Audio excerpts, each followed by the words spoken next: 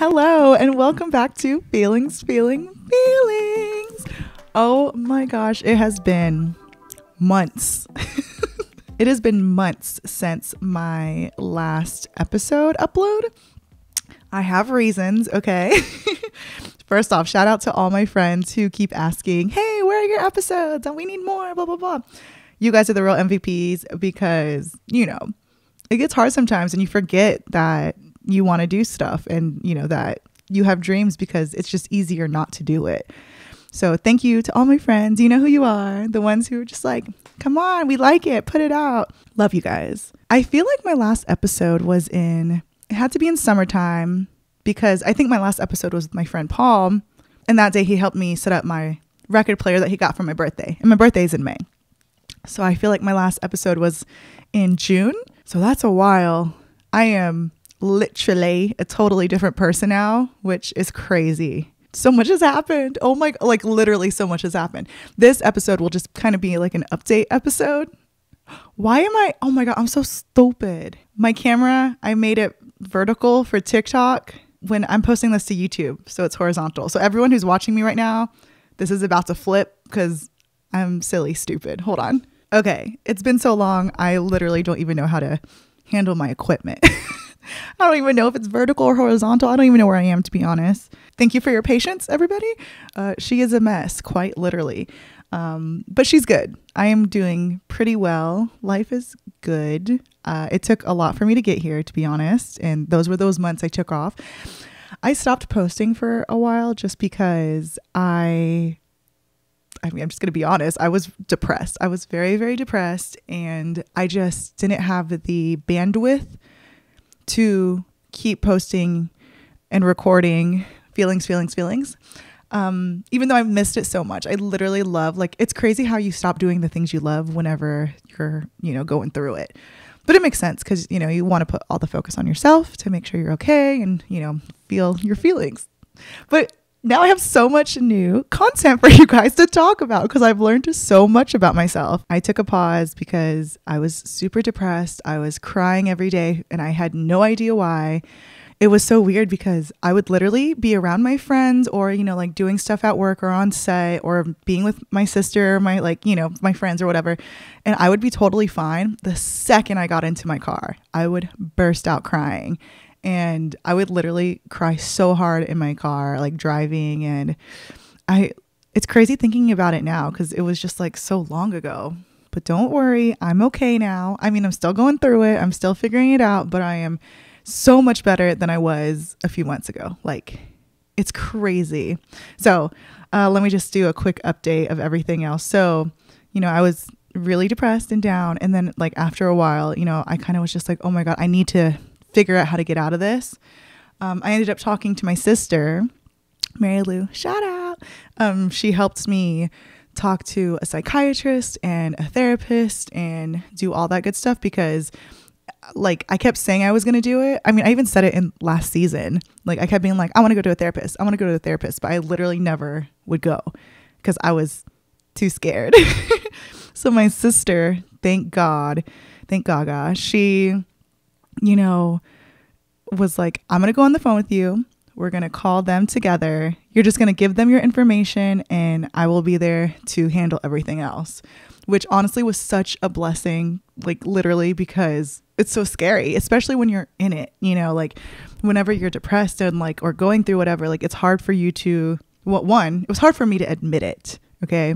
I did not want to admit that I was depressed with my all my soul because I'm like, no, I got this. Like I, I know how to do this. I, you know, figuring it out. No, bitch, I was depressed and I actually talked to a psychiatrist and like therapist and basically I got diagnosed with major depressive disorder along with PTSD and some other stuff that I'm not uh, ready to talk about yet. But the major depressive disorder, like really like it was a shock. I was in shock for maybe like five minutes and then I felt relief. I literally felt relief from hearing those words because it just made me feel less crazy. I felt like, okay, like there is a reason why I am crying all the time. This isn't who I am. Things have happened to me, and that's okay because now I am aware and I have to figure it out. and I could heal from there, you know? So I think like heal like me just being aware that I am actually sad. I'm actually like, you know, feeling everything I'm feeling. It sucked to hear that I was like I had major depressive disorder, okay? Not just like you're depressed. Like no, you have major depressive disorder. Um it was a shock, but yeah, it, it just felt good to you know, have something to pinpoint it to because now I could go from there. I could do research, read the right books, take the right medicine. They also put me on antidepressants, which honestly have been the MVP of the last month. Like, I for sure feel much better whenever I started to take them, and I'm still on them. Um, if you're interested, I'm on Wellbutrin. Um, and I literally, it has changed my life. And even my friends have pointed it out um, they're just like, wow, ever since you started taking it, it's like I could like handle my sadness more, if that makes sense. Like, yes, I, I mean, I've been through shit, so I'm sad no matter what. Like, it's gonna come and go, but I for sure can handle it better now that I'm on antidepressants. Bless, bless the antidepressant gods. I know some people don't like it. I had some friends where they try talking about it. I'm like, no, no, no. This is my journey, not yours. I don't need any opinions because it's working for me. And for anyone else who is interested on getting ant- on antidepressants or, you know, like have other people, you know, other people's opinion coming at you, you do you. You know your body best. They don't know what's going on in your mind. You know what I mean? I'm pretty sure some people in my life just think I'm sensitive and overdramatic and like blah blah blah. But I'm like, you don't know what I've been through. You have no idea what I've been through. Like I don't know what you've been through. So you know, there's some things you have to journey alone and figure out on your own. I also am like super focused now. Like that has been the biggest thing I've noticed ever since taking my antidepressants is that like I can sit down, work on something and finish it, right? The next thing. I could work set it down, work on it and finish it. Like I'm just very like organized now instead of like Zach always says I have ADHD, but I don't know if that's if I really do, but I do have those symptoms of being like, ooh, what's this? Oh, it's that. Oh, it's this. Like I jump around. You should hear me on the phone. of my conversations, I'm like, oh, this, oh, this, oh, this, oh, this. But it has for sure helped me just kind of like slow down and just like focus on one thing at a time. One thing funny, this is so stupid, but I love saying it. the first time I ever took my antidepressants, I think it was in September, one of those months. I, I'm pretty sure it was September. Anyways, the first time I ever took it, I literally felt so focused. I don't know if you guys ever seen Twilight. I forgot. I think it's called Breaking Dawn Part 2. The the last the very very very last movie. At the beginning, okay, if you haven't seen it, I'm sorry cuz I'm going to spoil it. Um so stop listening. I'll give you a second. Okay, you had your chance. so in the last movie at the beginning, you know, Bella turns into a vampire. this is so stupid. Bella turns into a vampire and she is like she opens her eyes and she's super focused like her eyes like zoom in and sees like flowers blooming and like she sees dust flying and like all this stuff and I swear to god that is the only thing I can compare it to when I took it for the first time. It's not like that anymore, but I'm pretty sure like uh, my body's more balanced with it now. But I literally was like, I could zoom into stuff, like zoom, zoom. It was a cool feeling, honestly. But Anyways, random fun fact of how I felt on antidepressants. But yeah, so far I recommend it for anyone who's interested. Uh, I'm not a doctor, so I don't know what you need. So figure it out yourself. Um, you know, get the help you need if you need the help. And yeah. Another thing I started doing, I actually went to therapy. Woo! Finally. Um, I actually started therapy with BetterHelp because Ariana Grande, like, they did like a $3 million thing where like her fans could do BetterHelp for a month. And I did that for a month and it was fine. I just like, I didn't personally like it. And I have like health insurance. So like I should use my health insurance. Um, and that's when my sister helped me get a therapist and like do the process. I loved my therapist. She was so nice and so cool. I actually am not seeing her anymore, but I feel like I should. I always say like I always say it in seasons. I'm like I'm kind of ready for season 2 because in season 1 like we worked on the things that I needed to work on. She helped me like understand like grieving and like the stages of grief with which that's a whole episode I could do, like talking about stages of grief, because I just never understood it. And now I see it so clearly in every single part of my life. Like it's it's crazy. But that we'll save that for another episode. But she taught me about that and like how I have to learn to accept things and you know, move on and a bunch of other stuff. But um, after a while, you know, she was like, you know, it's up to you if you want to keep going or if, you know, you want to take what you've learned and apply it to life. And I went that route. So right now I'm currently off, but now I'm like healing a whole new set of things.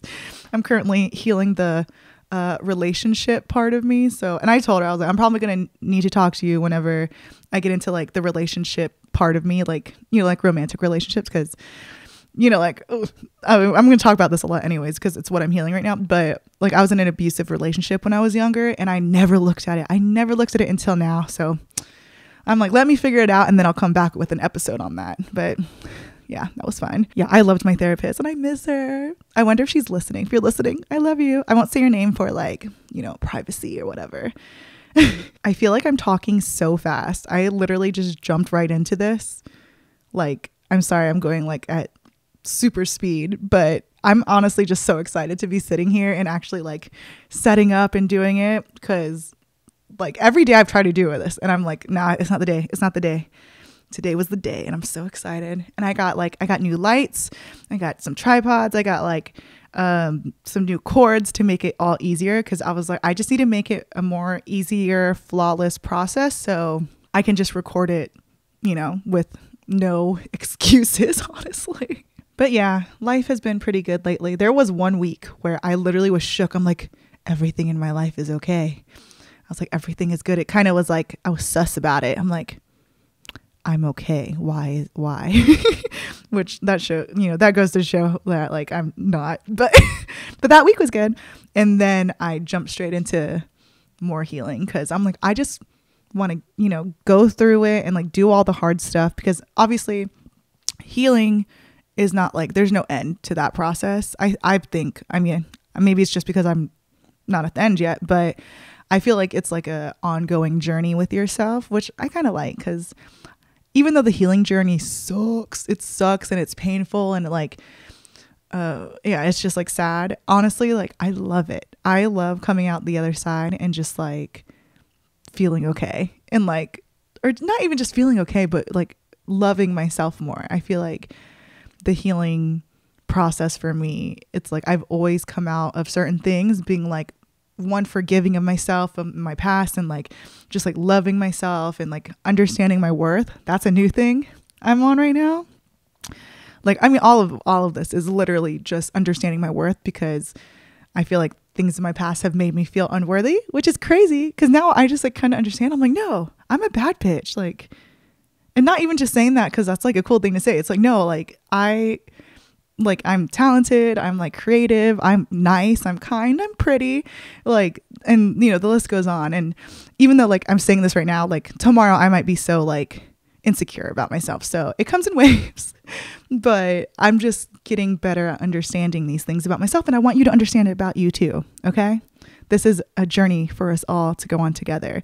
I just want to be so confident in myself where if let's just say I get rejected or you know something doesn't work out, like I don't have like I want my confidence and um my what is it called? Why can't I think right now? I want my self worth to be just unshakable. So it's like if something doesn't work out, like for example, whenever I'm insecure, let's just say I get rejected by a boy or something doesn't work out. Like I'm like, oh my God, he doesn't like me because like my body, or he doesn't like me because like I'm too like outgoing and loud, you know, like when it has nothing to do with me. So I just I'm getting to a point now and I'm working up to a point to where I am just like I unshakably love myself. So it's like if I do get rejected or whatever, I'm like, okay, like that's fine. I'm just not their cup of tea and I'm probably a cup of tea for someone else, you know?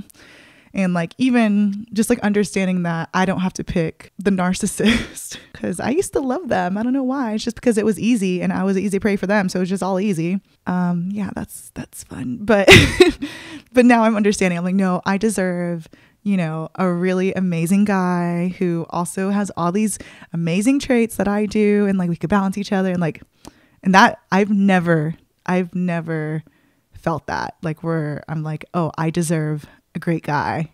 And like they deserve me because I don't know. Yeah. Fun fact I haven't had a boyfriend in 10 years, probably longer. Yeah, ever since that abusive relationship. I know I said I wasn't going to talk about it, but I'll give you a little now. It's crazy. I, I've never been in a relationship since then because I just like, I was like, no, I'm good. I tried it and I'm good. Um, and that one was like obviously like really, really bad. So yeah, now I'm finally, I think because I've done all my healing the last year and a half and like understanding myself more and like forgiving myself for like things that weren't even my fault, but like, you know, just like being more understanding of, you know, like my inner child and like what I need and, you know, all that good stuff. I think it's really important to understand yourself, like really love yourself. Cause I've always like loved myself. Like I have like love for myself, but it was very surface level. I think I said that last season, but now, you know, I'm understanding that I don't know. I just know what I deserve now, basically. And it's still, you know, again, comes in waves. But I just want everyone to understand that and feel that. I'm trying to think what else happened in the time off that I did. So some other things that I actually went through on the time off whenever like I took off was uh, I think the last I don't know if I said it on the podcast at the end, but I started vlogging again and like doing fashion videos on YouTube. And one thing which is so crazy to me, my dream my dream was to become a YouTuber, a successful YouTuber. And then like I started making like I tried to go in on vlogs and like fashion videos and then like one day I was just like, "Oh my god, I don't want to do this." Like I had to let go of that dream because that dream was for my 16-year-old self. My younger self wanted that so bad. And then one day I like realized I'm like, I don't even like doing this. Like, why am I doing this? So I think letting go of a dream you always had like it was really hard for me. I really had to set my ego aside because my ego was like, no, we have to do this. You said you're going to do this. Like, I'm very, that's how my mindset is, which is stupid. But yeah, that took a lot of work for me and like gut for me to like be like, all right, I'm, I'm done with YouTube. Even if you're watching this, you're on, you know, you're watching on my YouTube channel, but uh, you know, like in a YouTuber form, like where I'm like doing hauls and, you know, even vlogs, even though I like doing vlogs still, but like on my TikTok, but it's I don't think of it as like I have to upload every week. So thank God because I literally like once I decided I'm not a YouTuber anymore or I didn't want to be a YouTuber, like I had such a giant weight lifted off of me. Like it was crazy. I didn't even realize that I put so much pressure on me to want to become a successful YouTuber because I just realized that's not what I want and like that's not who I am. I don't even want to be like an influencer or anything like that anymore. Like I never really wanted to be but I guess some my ego part wanted that because that's like what all my friends are doing. That's what all the cool kids are doing. And that was like an easy way for me to be successful because I can do those things. But now, like, I think because literally ever since I started working on myself internally, like, I'm just like, wow, the things I thought I want aren't even me. Those are things that the outside world is getting and I just see it and I see them happy and successful and I think I want those things. Once I started learning about myself, I was like, I don't even want those things. Like I want to do like this podcast and like help people and like tell them about my healing journey and like my life journey and stuff because to me vulnerability is the magic power, honestly. and it is. My friend Patrick, he has a saying where he says life opens up when you do. And that shit, that shit slaps. Like that, it is the truth. It is the truth. Like vulnerability is the magic power that will set you free. Like if you're open and talk to someone, like say, for example, me being depressed, no one knew I was depressed. I hid that shit so good and then finally, like, I called my sister one day and I was just like, I can't do it alone anymore. And then once, you know, I opened up to her, I even opened up to her the other day, like, in a crazy intense way that I've never told anyone certain things. And like, ever since that, like, life has been so good. Like, opening up to someone, like, you know, like you could get help, you know, they could be there to support you. Just someone knowing your insecurities and like things that you're scared to say out loud, even to yourself, honestly is like so powerful. It's in- insane. It's insane. So, uh, not saying you have to do it, but like if you're going through something, please open up to someone if you can, someone you trust. You can even write me in the messages. Not saying I have any answers, but I'm I would I will totally be there to support you and have your back and you know help you in any way I can. But for sure, like, you know, life opens up when you do. So do it. I have to get ready for a party that I'm going to. My friend Danica is throwing um, a Halloween Christmas. Chris, wait, whoa, whoa, whoa. My brain got real mixed up. My friend Danica, she's throwing a Friendsmas. Is that how you say it? A Christmas for friends, um, Harry Potter themed, which she did last year, but I feel like this year she's going in in. So I have to get ready for that really quick. But I just wanted to keep this one short and sweet and get one, the first episode just out of the way so I can fucking finally start and two, just like give you a quick update. I'm for sure going to give you more details on things whenever I'm talking with someone because you know, talking myself is kind of like silly. I don't know why, but I like it like bouncing off people and stuff like that. Um, and I'm so excited because like all my friends are so excited to come on the podcast and chat. And that just makes my heart so happy just because, you know, like I just, well, one, I love like deep conversations and talking about stuff, but it's cool that they want you know, they want to be on my podcast. Oh, that's so cute. Oh, and shout out to people who I was on their Spotify wrapped. I literally cried. I was like, wait, what? That was so cool. And that honestly gave me, um, what is the word? The inspiration to be like, okay, like that is what I want to do because I am making an impact in people's lives. it makes me so happy. I'm like, wow, some like some of the episodes are like an hour long and y'all sit through it. So thank you to everyone that's listened to the podcast so far. I am so excited to get back on it. I'm hoping to not stop again. I just want to keep it going, but you know, life happens. So I'm human, you know, so it is what it is. Whatever happens, happens. But just know I love you. And just to close this episode out really quick, even though like 2021 has been my most like emotional, draining, like hardest year of my life, I think. Honestly, I think it's been the hardest year of my life. Um, emotionally, especially. Even just like everything, because, you know, my insides are my outsides now. So it has been wild. But it's crazy because it's been my favorite year so far. Is that weird? Like when I think back to all the hard times, me crying, like thinking like the world was ending and like just being like, oh my God, I don't want to do this anymore. Like, and, but it's still my favorite year because I am now like way more confident. I understand myself more. Like I'm more open again. And I'm just, I don't know, I'm going to cry. I'm just like really proud of myself. And, you know, I'm excited now to share everything I've learned with you guys and hope I help, you know, in any way. As always, you know, like whatever I say, take what resonates with you. It might not apply to you, but I'm just like, I'm being vulnerable and open. So, you know, you could take what you want, but don't think I don't have all the answers. Okay. I'm still, I'm literally forever going to keep learning. I'm just sharing what, what I've been learning. But, anyways, I'm very proud of myself. But yeah, I cannot wait to keep doing episodes and learning along the way and bringing in friends. Um, but yeah, I forgot how I end this. Do I just say bye? I don't know. I guess, oh, oh, wait, wait, wait. I have to say, like, um, make sure you go to my Instagram, feelings, feelings, feelings, feelings, feeling, feelings. Oh, I haven't said that in so long. And you know follow us th- follow us. Who's us? Follow me there. And subscribe to this podcast. And if you're on the youtube channel subscribe to the youtube channel and follow me on spotify. And let me know you're listening because that's cute. I always like because to me i'm like no one's listening. I'm like i'm just doing this for myself but that's okay too okay anyways love you bye Thank you for listening to this episode of Feelings, Feeling, Feelings. I hope your feelings are feeling something right now. Make sure you follow at Feelings, Feelings, Feelings on Instagram to join the Feelings, Feelings, Feelings community. I just want to remind you, you are magical, you are beautiful, and I love you. Now go drink a glass of water and tell yourself you love you in the mirror.